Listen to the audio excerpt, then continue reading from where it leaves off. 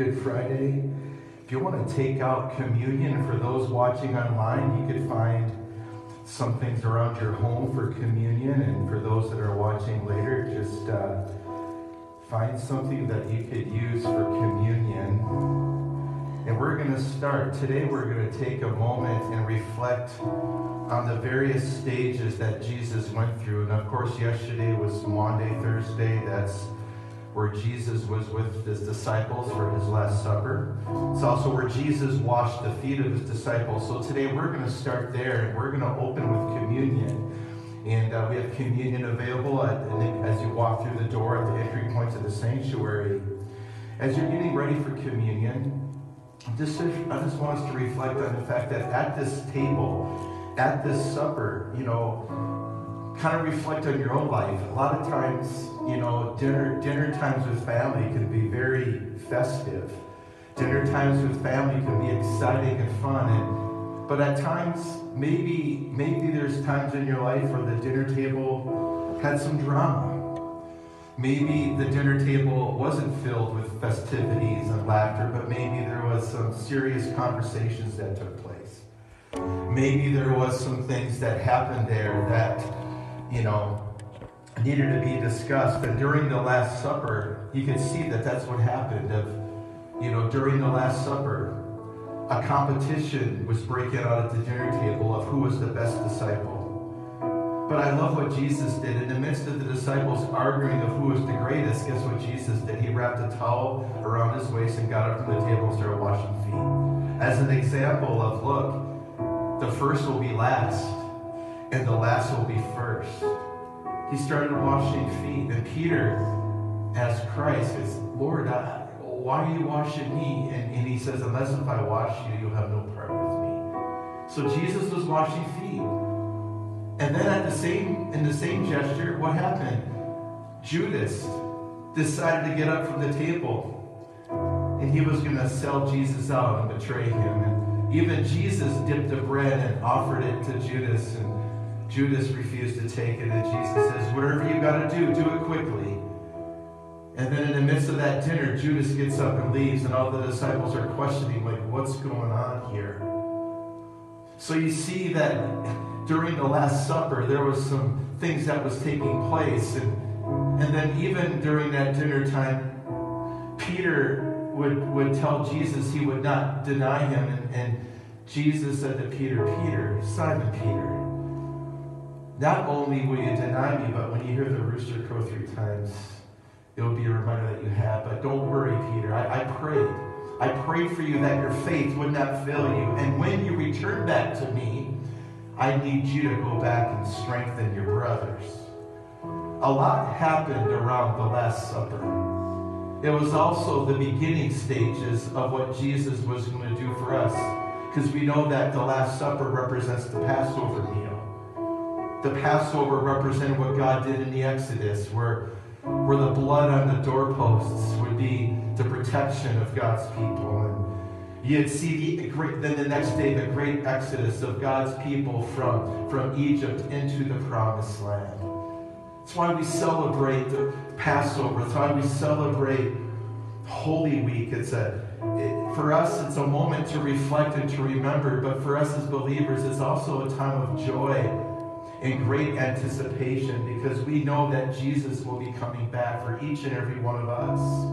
And today, with joy, we get to celebrate and kind of walk through and reflect on our own lives on these different stages. And, and so, as we jump into the, to the afternoon, let's take out the, the communion elements. And, you know, at the supper, Jesus took out the bread and he, and he broke it. And he said, This is my body given to you. Do this in remembrance of me.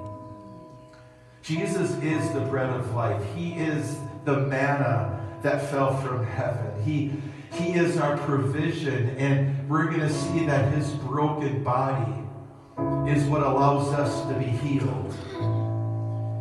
He took the bread, he broke it, he says, Take and eat. Do this in remembrance of me. So let's eat together. During the during that time, he picked up a cup. And he says, This is the cup of the new covenant. This is the cup of my blood.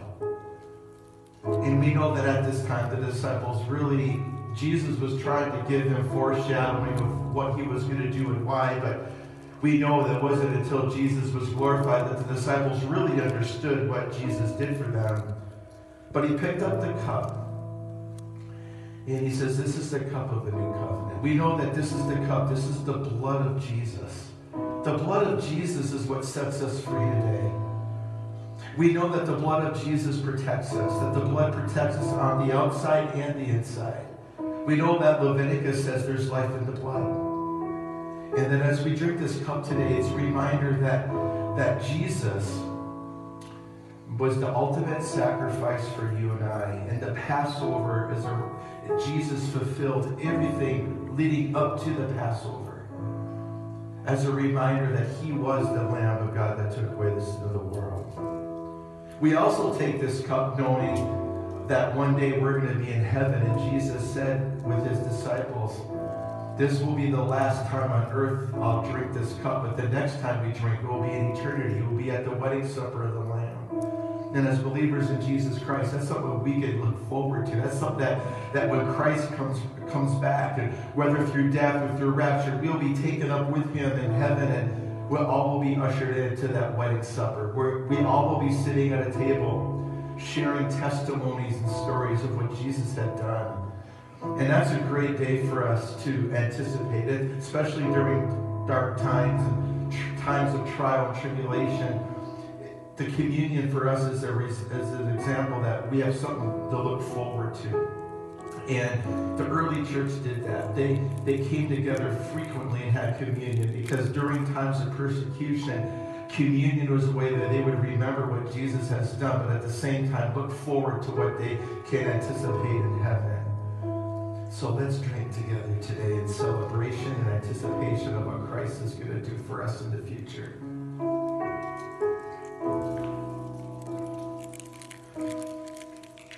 So we started at the upper room, and now we're going to worship our way from the upper room into the garden. As we're preparing to enter into the garden, take some time to examine.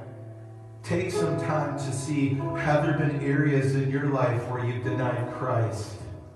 Maybe there was a moment when you felt like, like Judas, you wanted to turn your back on him because life is hard and difficult. And whatever you were facing. Maybe like Judas, you were tempted to, to, turn your back on Jesus, or be like Peter, where you denied him, or maybe like the, maybe you're one of the disciples around the table. Maybe you think you're you're bigger than life, and you think you deserve this or that, like the disciples. I'm the greatest. I'm the best. Well, before we. As we leave the upper room into the garden, take some time during this worship time to reflect and that's what this afternoon is. You know, we're not going to have any lyrics on the screen. However, feel free to worship to the songs that, are, that you're familiar with. Um, engage with that how the Lord wants. But the, the purpose of this afternoon is to reflect, to remember, to let, to let God sing over you, but at the same time, take some time to really reflect on your own walk with the Lord and put yourself in the story. Put yourself in the upper room. Put yourself in the garden. Put yourself as part of the crowd of the courtyard. Put yourself at the crowd of the crucifixion. Put yourself at the tomb where we're going to end today. And just see if the Holy Spirit wants to speak some things to your heart as we take this worshipful journey from the upper room to the tomb today. So, Father, as we get ready to enter into the garden, I pray that you speak to our hearts today. May we reflect May we remember. May we rejoice. But Lord, even as we walk through these things, Father, we're asking you to do a work on our, on our heart today. Father, are there areas in our lives that as we walk through these movements, Lord, are there, are there things that you want to do in us? Are there things you want to change in us? Are there areas about you that you want us to understand deeper today? Are there little truths or nuggets along this journey that maybe we've never noticed before? But today, Lord, may your Holy Spirit speak to us as we journey from the upper room to the garden, to the courtyard, to the cross, to the tomb. Speak to our hearts today. And and allow us to learn, to grow, to dive deeper in a greater understanding of what you did for us. And so, Father, we just give you place today as we worship you, as we honor you, and as we remember. In Jesus' name, amen.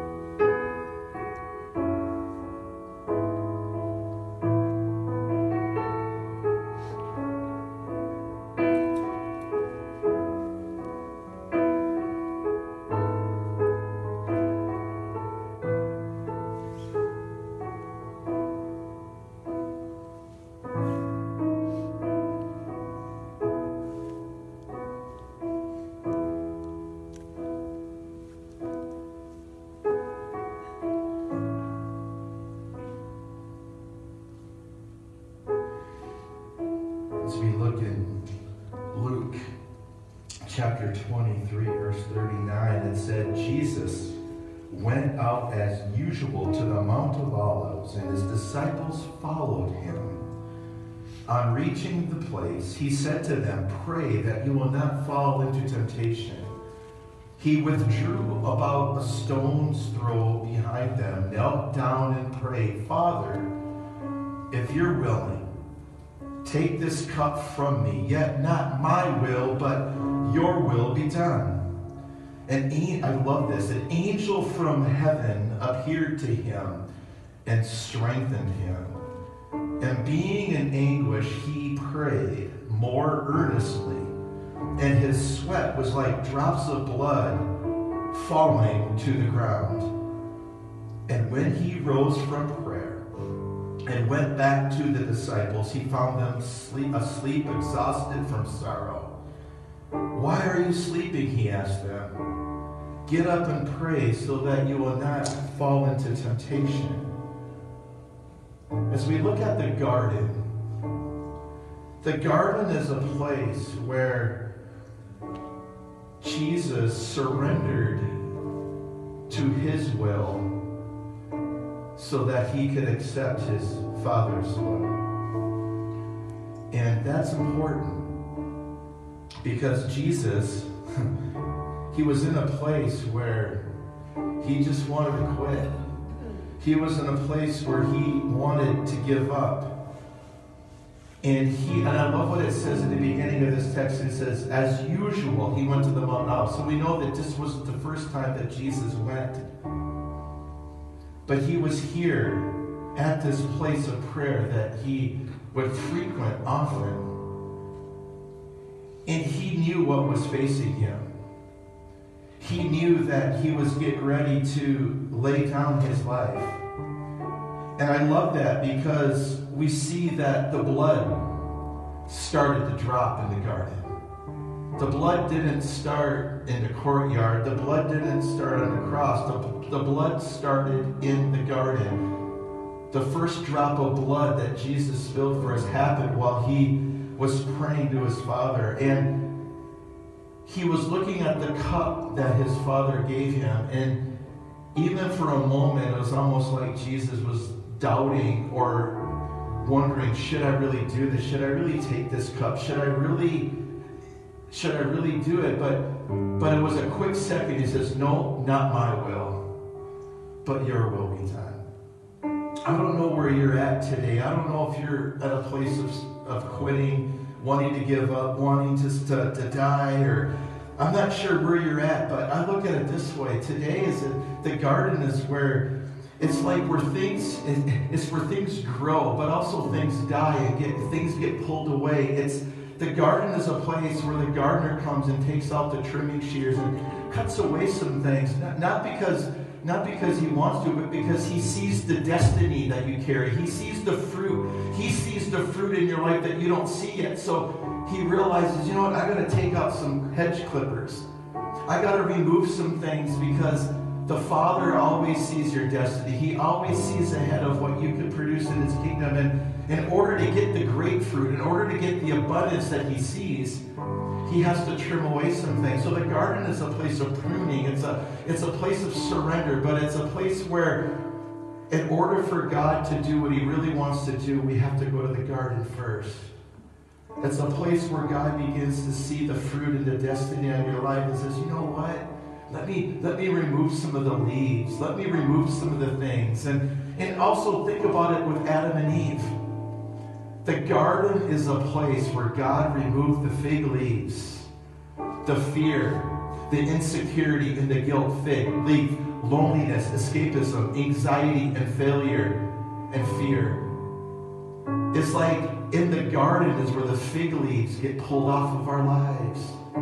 In the garden is where the first sacrifice was made because in Adam and Eve's sin, God get an animal and, and put animal skins on them as a sign of redemption and cleansing. So the garden, it's a place where redemption begins. It's a place where deliverance comes. It's a place where God removes some things from our lives so the greater fruit can come in the future. And it's where we surrender to our will and take His will.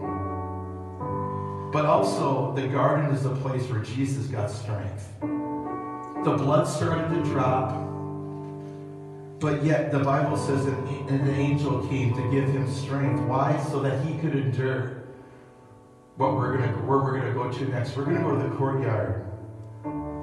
Then we're gonna go to the cross. Two of the places where Jesus suffered the most horrible suffering we could ever go through, but what prepared him to handle the courtyard? What prepared him to handle the cross was the garden. God gave him the strength to face the persecution ahead of him. Come on, somebody, as a church right now, I believe today we need to lean into something deeper here that, that what we're going through is preparation for the future. The garden is where Jesus got strength to endure persecution. He got strength to stand before Pilate. He got the strength to carry the cross. He got the strength to, to, to be mocked and spit at. He got the strength to where he could utter seven final words on the cross before he breathed his last. It's, the garden is a place where, where he was prepared to handle the trials of the future. And I believe today is something that we need to lean into as Christians and as believers. None of us know what lies around the corner in the future, but God does. But as we take time to reflect on the garden, what are the areas that we? Where, where are the areas of our lives that we haven't completely 100% surrendered? This is our moment to surrender. This is our moment also to accept strength. You know, maybe you're in something and you've lost the hope. Maybe you've lost some strength. But guess what? The garden is a place where you can get strength. God sent an angel. At one of Jesus' weakest moments, there was an angel that came to attend to him and to give him the strength that he needed to fulfill the purpose, to fulfill the plan that God has. And that gives all of us hope that, that, that, that God's will does not require your strength. It requires strength of heaven coming on you so that you have the strength to move ahead. And that's good news that when we accept the will of the Father, He also provides everything we need to fulfill the will of the Father, no matter how difficult it looks today. So, Father, as we take time to sit in the garden, we know that our flesh is weak today, but our spirit is willing. Father, may, may you reveal to us the areas of surrender today. Father, show me, or even as a pastor, show me where, where I need strength, where I need heavenly strength today. Father, show me where the areas of my life where I need a hundred do this 100% surrender. Father, my spirit is willing, but my flesh is weak. Father, just reveal to me those areas. And Father, Lord, today I also embrace the, the suffering. I, I embrace the, the trimming shears because you see fruit in my life that I don't see yet. And so, Lord, I, I surrender and I surrender into your hands, God. I, I, I accept your will for my life, knowing that you got to do what you got to do to get more fruit out of me. Father, I can't produce fruit, but I know you can produce fruit through me. So, Father, just bring the, the trimming shears today. Trim some things away so more fruit can come. And Lord, all of us, I believe in this season, we need more strength. So, Father, just give us the strength. Lord, you sent an angel to attend to Jesus' weaknesses. You, you sent an angel to attend to him, to give him the nourishment and the strength that he needed to endure the courtyard and, and the cross. And so, Father, send us supernatural help today. Send us supernatural strength. Because, Father, when we surrender to your will, you provide the strength to accomplish it. So, Father, as we surrender, Father, release the provision we need, the strength we need, the healing we need, the deliverance we need, the hope that we need, the promises that we need. Send everything that we need so that we could step forward into the calling that you have for each of us today. Father, remove those fig leaves from our, from our lives. And may we embrace the salvation. May we embrace the redemption that you have given us. And Father, thank you that in that garden, blood was spilled. Thank you that you prayed to the point to where your blood could be poured out to, to cleanse us, to wash us. Thank you for your blood that protects us. Thank you for your blood that redeems us today. In Jesus' name, amen.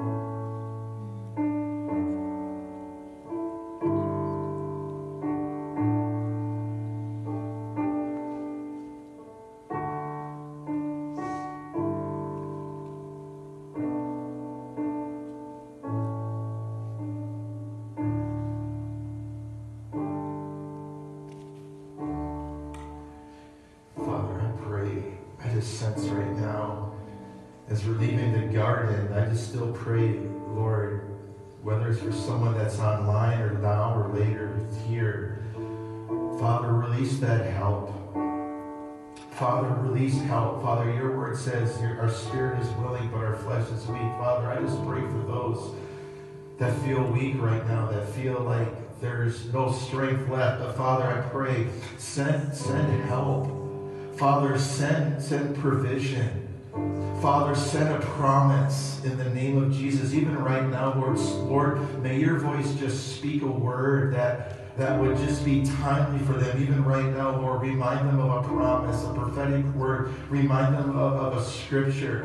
Father, those that feel like, man, their, their flesh is weak, God, just release strength. Father, just release that heavenly strength, Father. Just like just like you sent an angel to Jesus, God, just release that supernatural help right now. Father, release that supernatural aid in the name of the Lord Jesus Christ. Just release it right now. Father, just release that help. And God, release that strength in the name of Jesus. Father, you are willing. That's what I love about you. You're so, you're so willing. Father, anyone who reached out to you, you, you were willing to touch them. You were willing to heal them. You were willing to deliver them. You were willing to, to meet a need. So, Father, you're willing today. And Father, I just ask that that lie that might be penetrating someone's mind that says, you're not willing, Lord, we know that's a lie because your word says you are willing. And anyone who comes to you and asks, you answer, and you bless, and you encourage, and you strengthen. So, Father, those that, that feel like they need that today, God, just bring your help because you're willing. And just, just, just come to them. God, may they feel your tangible presence, hugging them, loving them, encouraging them right now. So, Father, just touch that person today. May they know that you're willing today. That you're willing. we just thank you for that today in Jesus' name. I just felt that. Just felt the weight of that. As we leave the garden now, Jesus is arrested. You know, he, he goes before the Sanhedrin court and he gets judged by the Pharisees. So the beating, the beating starts there. You know, he just doesn't get ushered into the, the court of the Sanhedrin. You know, he that's where that's where the hitting starts. That's where that's where it begins. And, and, and, then this is the time, this is the time frame where, where Peter denies Christ because as Peter, as Peter follows and John, they, they're following Jesus as he's getting arrested. And, and as he's in getting judged by the Pharisees, he's getting beaten there. The beating starts. And in, in my sermon, when we talked about when the rooster crows, it's just, just as Jesus walks out of the door the rooster crows, and, and, and the crowing of the rooster is also to, attributed to temple worship beginning in the temple, where the temple crier shouts out a call to worship, a call to sacrifice. It's at that time of worship. Jesus walks out of the door, and, and Peter hears that. And it's like a, it's like and the Bible says Jesus and Peter they lock they lock eyes, but it's almost like this is what Jesus is saying to Peter. Peter, I'm the sacrifice that's being prepared. I'm the sacrifice that's prepared for you. As Peter denied Christ, Jesus comes out to remind Peter of the promise and hope that, look, I'm today, as, as, as the temple crier is calling out for the sacrifice and the worship, it's at that time Jesus says to Peter, I'm the one that's being sacrificed today. I'm being sacrificed for you, Peter. Remember my word. I pray that your faith would not fail you, Peter. It's like in that moment, Jesus was ministering to Peter, and then as Jesus is being arrested, he's brought over to Pilate. So Jesus, so Jesus already getting bruised up and beaten from the from the Pharisees because they thought he was a false prophet, and when he claimed that he was the Messiah, the Pharisees didn't like that. So they hand him over to Pilate to be judged. And Pilate realizes, man, this is an innocent man. And I love. And even not only interesting, Pilate's wife gets a dream and says to her husband, Don't judge this man. So even Pilate's wife was trying to, to remind her husband, look, I, this is an innocent man here. And, and even Pilate is trying to have a conversation with Jesus. And even Pilate comes up with a creative idea. How about I get this really bad dude called Barabbas? How about I bring him out and, and put him next to Jesus? And, and just maybe the crowd will pick this guy. This guy is, is beat. This guy's a loser. This guy's committed horrible crimes. And, and the crowd should be, it should be obvious on who should be sentenced to be crucified. Not this man who's innocent, but how about this guy Barabbas? So Pilate, Pilate had this great idea, but we saw the idea backfired. The crowd would rather have Barabbas released than Jesus. And then it gets picked up in Matthew chapter 27, verse 27. The governor, the governors, it says here, Pilate released Barabbas to them, but he had Jesus flogged and handed him over to be crucified. Then the governor's soldiers took Jesus into the praetorium and gathered the whole company of soldiers around him. They stripped him. Now, granted, remember, he just has been horribly beaten, by the way. All right? This, they, they stripped him of his clothing after the fact that he's been flogged. And if you saw the Passion of the Christ, you got to get an idea of what he looked like in this scene. So they stripped him. And they put a scarlet robe. So this picture that. You, he's already bleeding out, has all these sores on his body. Now they're trying to put, now they're ripping. Just think of the think of the of the sores and the blood already drying up. And then you rip that clothing off of him and now you're putting more clothing on him, that's, that's more pain. And then they twisted together a crown of thorns and they set it on his head. And then they put a staff in his hand.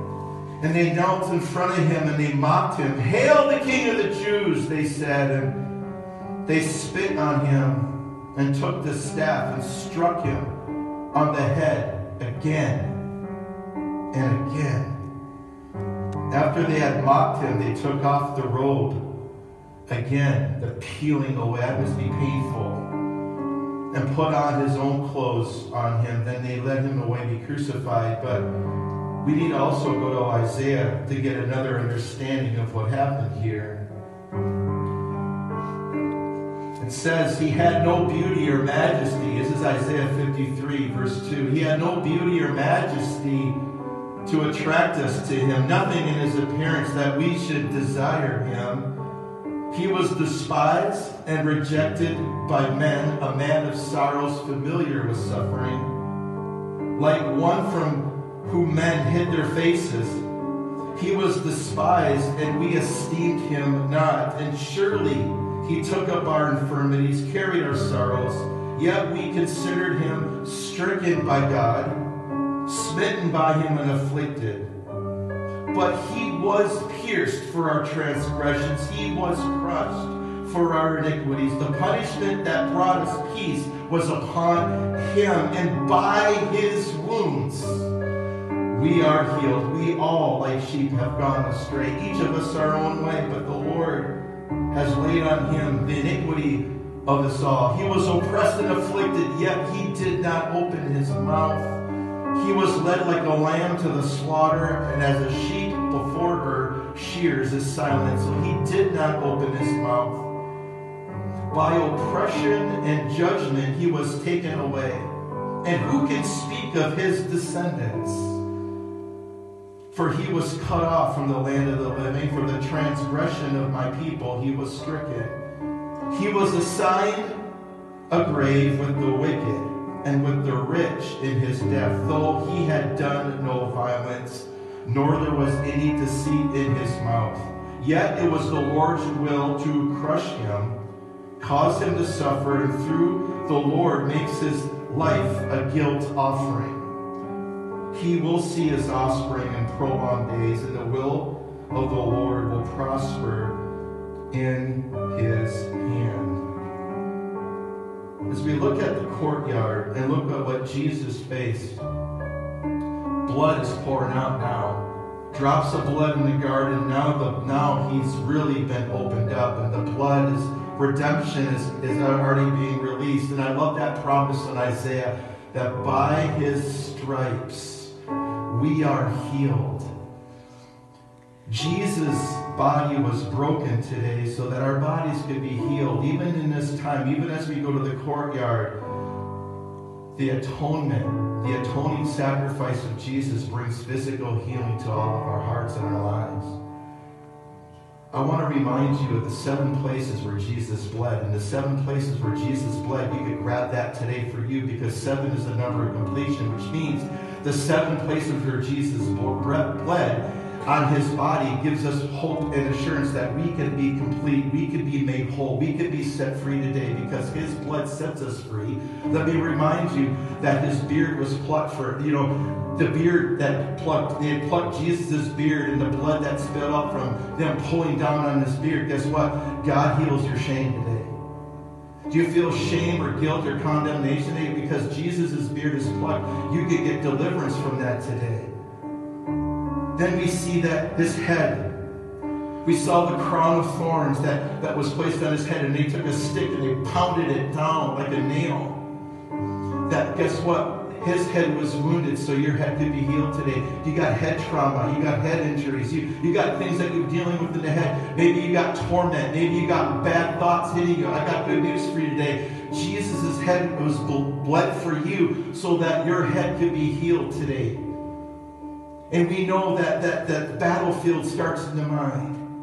That Jesus, Jesus took the pain and the suffering of his head so all of our heads could be healed today, so that we could be set free from torment. We could be set free from depression. We could be set free from all these mental things that are coming attack. Mental illness could be healed today in Jesus' name. That anything, that anything that happened to our heads could be healed today.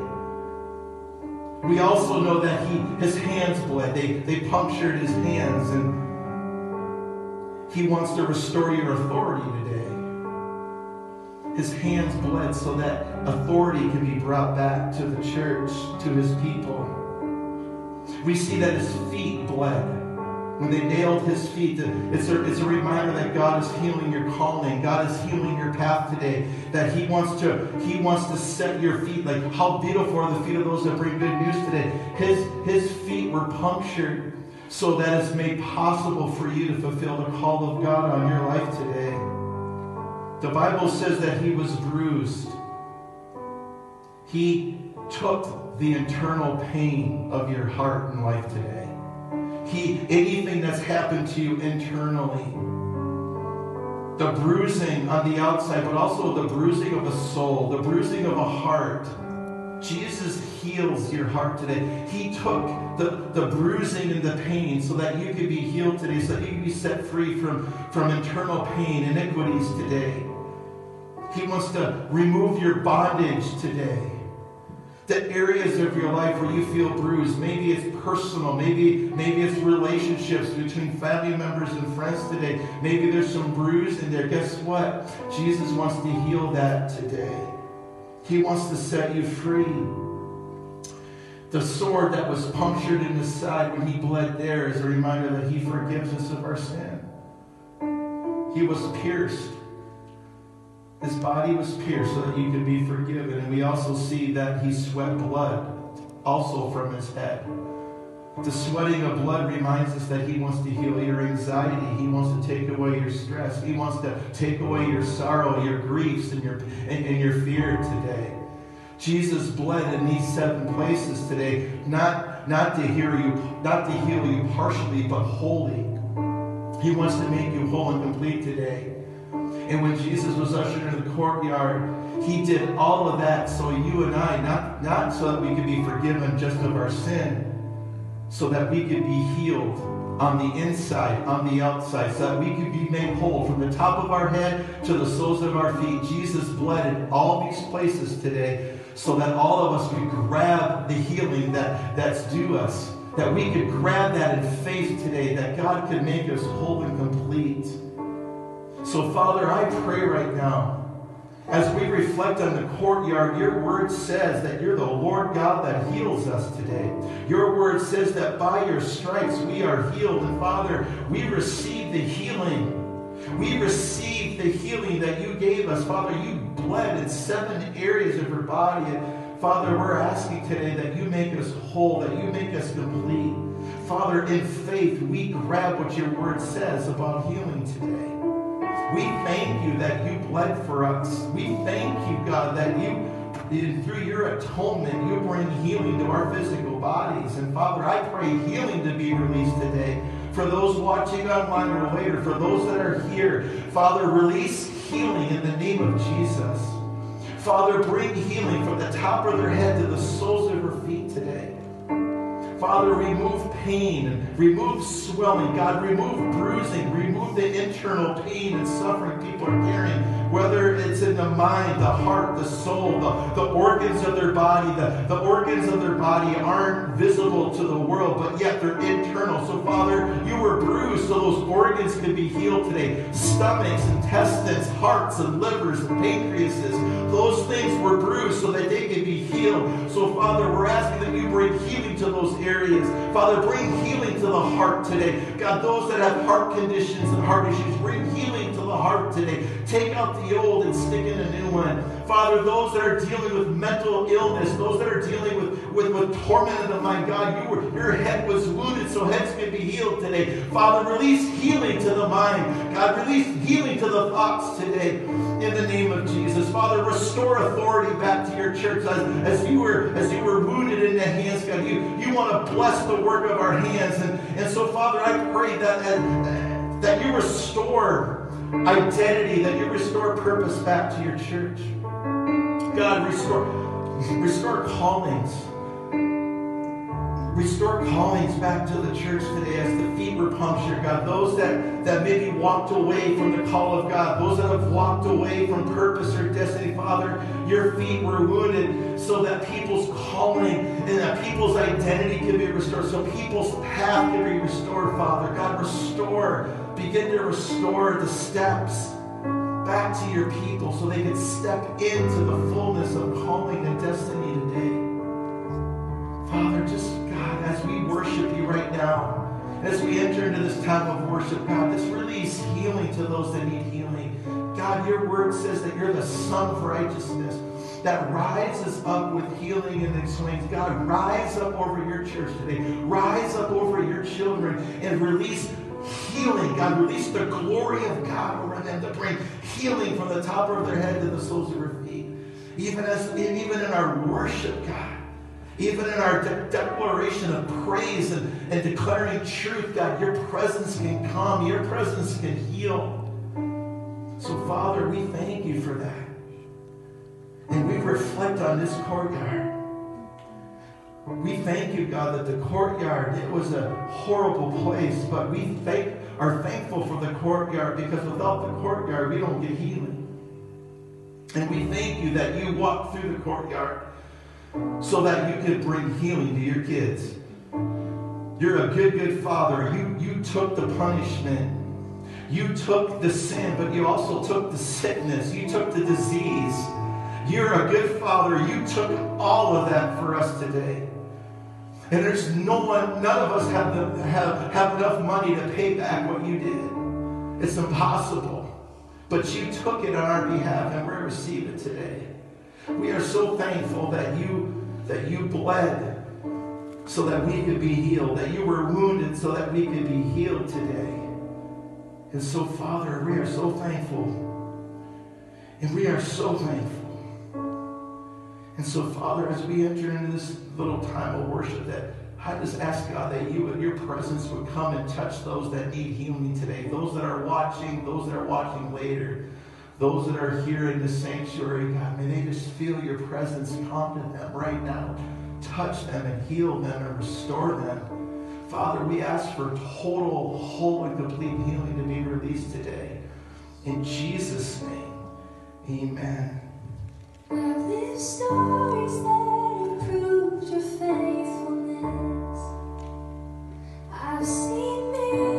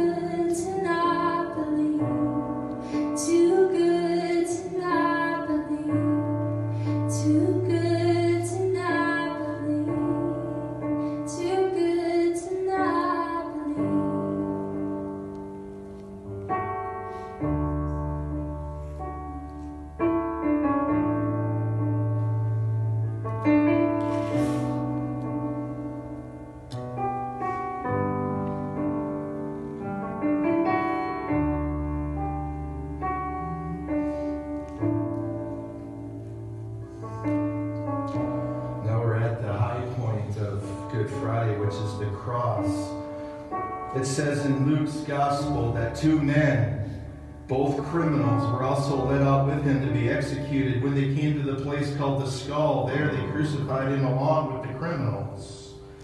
One on his right, the other on his left. Jesus said, Father, forgive them, for they do not know what they're doing. And they divided up his clothes by casting lots. The people stood watching, and the rulers even sneered at him, and they said, He saved others, let him save himself if he's Christ of God, the chosen one.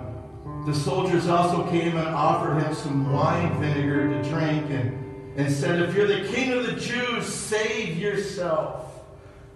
There was a written notice above that read, This is the king of the Jews.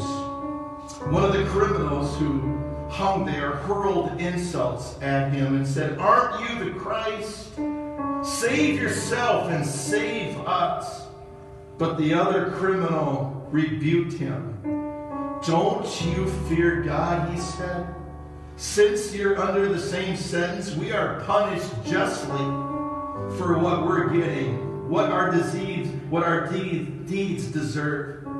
But the man next to us has done nothing wrong. Then he said, Jesus, remember me when you come into your kingdom. And Jesus said, I tell you today, you will be with me in paradise.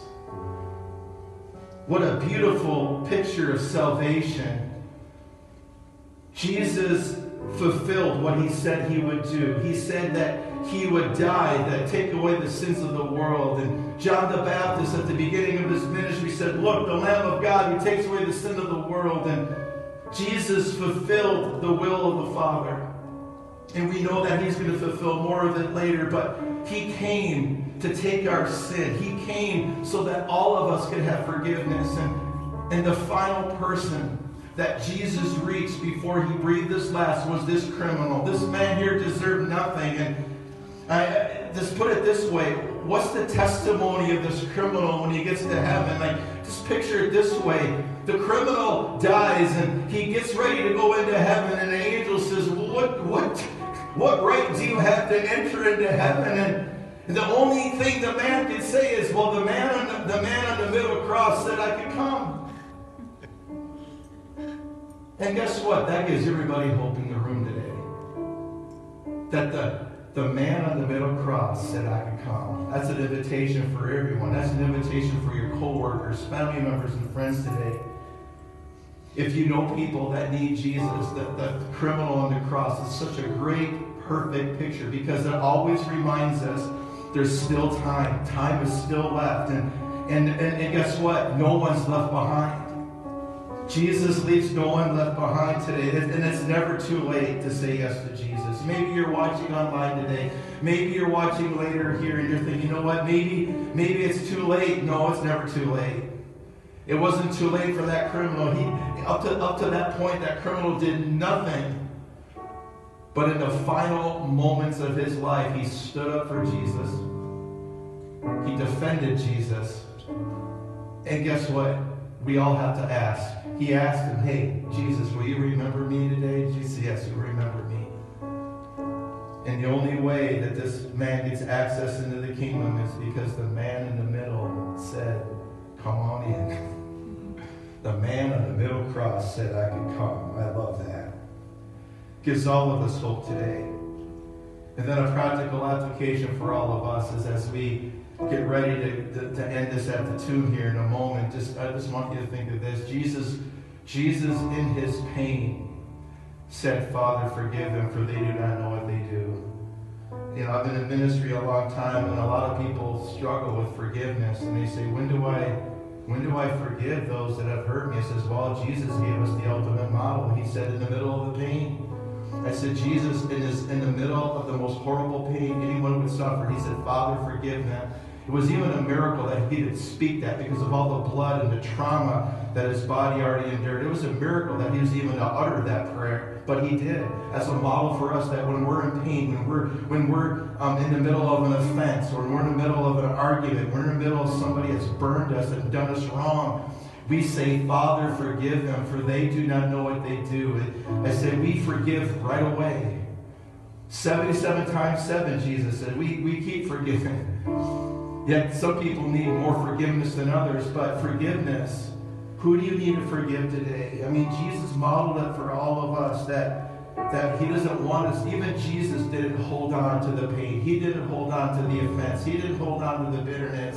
He, he didn't hold it over the heads of those that crucified him and hurt him. And I mean, I mean, if anyone had a right to be offended, it was Jesus, but he didn't. He said, Father, forgive them, for they do not know what they do. He didn't wait till after he was resurrected to come back and offer forgiveness. He offered forgiveness in the pain, and that's a model for us that, that forgiveness is what starts the healing. Forgiveness is what starts reconciliation. Forgiveness is a part of the healing puzzle. And I've seen it so many times. A lot of times people struggle with physical healing, but when they when they when I lead them into a prayer of forgiveness, it's amazing how the physical healing comes instantly because it wasn't the fact that they were physically inhibited, it was that, that they forgot to forgive. And that forgiveness is what really brought the sickness in the first place. So when they forgive the person that hurt them, the physical healing comes. For some people, that's that's breakthrough for them is they hold on to that bitterness, they hold on to that offense, but when they finally release that offense in the person, it's amazing how the how the transformation and the breakthrough and the physical healing comes. And maybe as we go into this next song, this chorus, that maybe there's somebody today that you need to forgive. Maybe there's a relationship that needs reconciliation. Maybe you just need to come to Jesus today and you're saying, Jesus, I've never accepted you into my heart. And, you know, maybe some of you are like the criminal, like, you know, it's never too late to come back to Jesus today. Maybe you've drifted from the Lord. Come back to Him today. You know, all you can say is, Dear Jesus, come into my heart, save me. Just, just pray the criminal's prayer on the cross.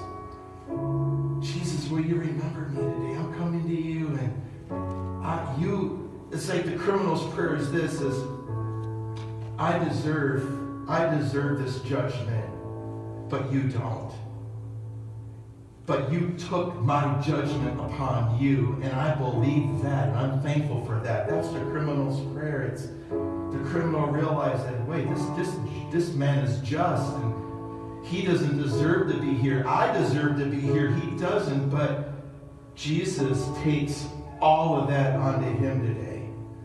He takes your pain on him today. He takes your sorrow on him today. He takes everything so that you can be free so that you could have a place and a home in heaven today.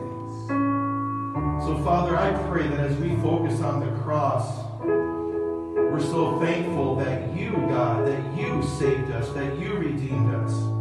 That, Father, salvation doesn't come from our works. It doesn't come from the, the good things that we do. No, it comes only from you. We know that all of us today, as we look at you on the cross, we we know that we deserve judgment. We, we deserve to be there, but thank you that you that you were the substitute for our sin.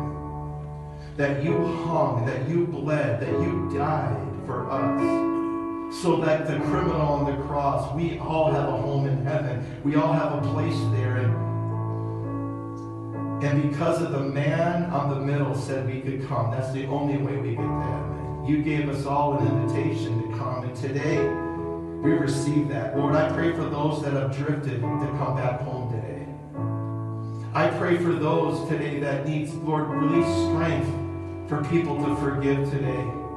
Father, we, we, Lord, we just forgive those that have hurt us. We forgive those that we're mad at. We forgive those that, that, that, have, that have done us wrong today. Father, thank you for modeling forgiveness.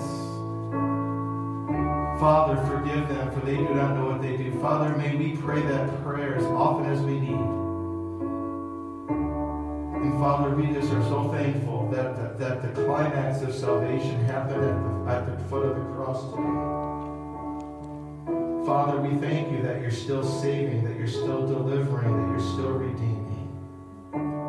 Father, we lift up our city. We lift up our loved ones that don't know you today. And Father, we bring them to the cross. We, we bring our family, our friends, our neighbors, our co-workers, God. We bring our cities that don't know you, God. We, we bring them to the cross today, God. We ask that you would, Lord, you, you have forgiven their sin. But now, Lord, I ask that these people would come into a revelation that they are forgiven, that they are set free. And God, I pray that people would confess would believe in their heart and confess with their mouth today that you are Lord. I pray that our city would do that. I pray that I have family members I wish that would do that. Lord, help us to lead those people to confess with their mouth and believe in their heart today. Father, draw them to you so that all of those people can make that beautiful confession before you today. And, and Father, as we believe and confess, Father, you're, you're, you're willing.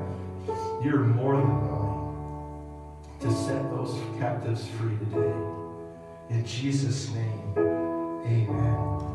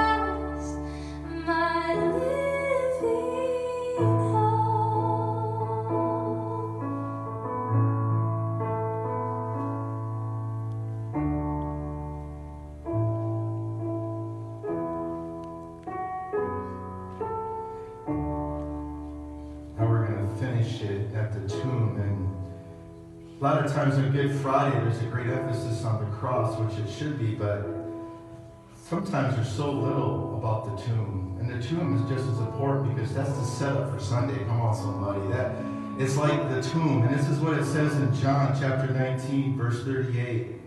Later, Joseph of Arimathea asked Pilate for the body of Jesus. Now, Joseph was a disciple of Jesus, but secretly because he feared the Jews. With Pilate's permission, he came, he took the body away.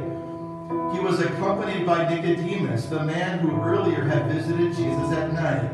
Nicodemus brought a mixture of myrrh and aloes, about 75 pounds. They, taking Jesus' body, the two of them wrapped it with spices and strips of linen. This was in accordance with the Jewish burial customs. At the place where Jesus was crucified, I love this. There was a garden. Isn't it interesting? Started at a garden and it ends at a garden. Something significant there to think about. There was a garden, and it was there was a garden, and in the garden a new tomb in which no one had ever been laid, because it was the Jewish day of preparation, and since the tomb was nearby, they laid Jesus there. The tomb is a greenhouse. What's a greenhouse? It's where things grow. It's where things get preserved. It's where you put plants for a season until they grow. I figured it's like the tomb is a picture of a greenhouse. The Bible says, what did not Jesus say? Unless the seed goes into the ground and dies, it cannot produce many more seeds. It's a greenhouse. The body of Jesus was laid in accordance with the Sabbath. It was a place of rest. That, that it was like preparation. It's like Jesus was a seed that was planted into the ground, and the tomb is the greenhouse that preserved it, so that when the seed goes into the ground, the dirt does the work so that multiplication can come. Come on, so that's a picture of the resurrection right there. But it had to go. Jesus had to be laid into the tomb. And it's a, to me, it's a picture of this greenhouse. Jesus also fulfilled the feast of unleavened bread because the Bible says God's firstborn would go to the grave without corruption. So Jesus fulfilled the feast of unleavened bread by him being buried. But Jesus is the seed that, that died. It was the seed that was planted, and we see that on the third day Jesus rose. And guess what? Those seeds from, from his death, his burial, his resurrection, those seeds are still producing fruit to this day. Jesus left a beautiful legacy behind, but yet the tomb is an important place because it's the place, it's the launching pad for the resurrection. It's the place where Jesus had to be laid for a season. It wasn't a, it wasn't a doom and gloom kind of a place. It wasn't, it wasn't the end of the story. It's actually the beginning of the story. And I love that it's interesting that that that it started in the garden Salvation, way, way back in Genesis, started in the garden, and then guess what? Jesus was laid in the garden. And he'd be raised to new life from a garden. I love that. A whole full circle thing is happening here. See, each of these places that we talked about today were also opportunities for us to give up, to give in, to give out, or lose hope. But on the other side of these places that we talked about today, the upper room, the garden, the courtyard, the cross, the tomb, on the other side of these things is breakthrough, healing, hope, and resurrection. Jesus told us as he was alive, he said these words, He, he or she who endures to the end will be saved. Jesus endured to the end. He went through the upper room. He went through the garden to the courtyard to the cross and to the tomb. He who endures to the end will be saved. Jesus gave a path and a model for us to follow. We also know that we have a blessed hope called the resurrection. And we're waiting for that on Sunday morning. We know what our blessed hope is. We know that Jesus already ascended. He already rose. But our blessed hope is that one day he is coming back. He is coming back. And one day we're going to be taken up to the air with him into glory, ushered into eternity forever. So, Father, we thank you today. We thank you that you took us on a little tour from, from the upper room to the garden, to the courtyard, to the cross, to the tomb. Father, thank you for showing us there's revelation and there's truth to be discovered at each of these places. And Father, as we reverently go to your tomb right now, we know that on this Good Friday, we know that you were a seed planted.